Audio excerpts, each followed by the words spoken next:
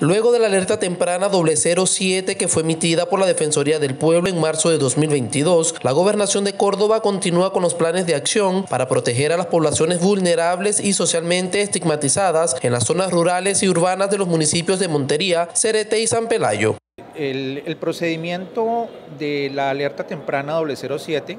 eh, indica que hay una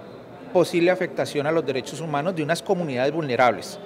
y discrimina exactamente cuáles son esas comunidades, si son eh, personas en condición de calle, recicladores, eh, personas estigmatizadas socialmente como ladrones, eh, personas estigmatizadas como distribuidores de estupefacientes. Entonces, a partir de la alerta temprana se estructuró un plan de acción con las autoridades locales tendiente a que cada uno bajo su responsabilidad, la alcaldía municipal, la fuerza pública y la gobernación, pues desarrolle las acciones que permitan que estos hechos no se materialicen. La Defensoría precisó que serían miembros de los frentes Zulay Guerra y Javier Yepes Canteros del Clan del Golfo los responsables de estas amenazas y de varios homicidios ocurridos en el departamento de Córdoba. En la zona de riesgo aparecen para Montería 16 corregimientos y 6 barrios, en Cerete reseñaron 9 corregimientos y 3 barrios, mientras que en San Pelayo figuran 6 corregimientos y un barrio de esa localidad.